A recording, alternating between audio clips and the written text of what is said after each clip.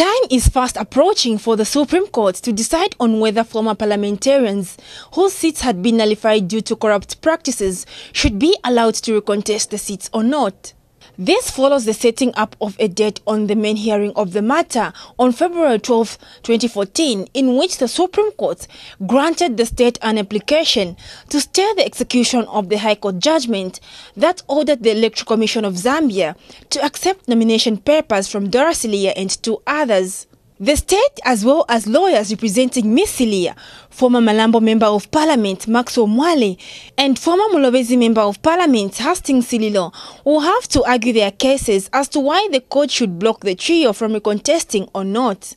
Once the ruling is passed, it will set as an example on those former parliamentarians whose seats had been nullified and are wishing to recontest parliamentary by-elections. In this matter, the inter-party hearing has prolonged beyond 90 days, which elapsed on September 26 last year from the time the three parliamentary seats were nullified, thereby creating a constitutional crisis. And electorates in some of the affected constituencies have for a long time now bemoaned the lack of representation in parliament as the MPs have not yet been elected. Meanwhile, Attorney General Mumba Malila, in his appeal, stated that the High Court judge overstepped its boundaries by issuing an order for the Electoral Commission of Zambia to accept the nomination papers from the trio. Naomi Ngandu, Movie TV News, in Lusaka.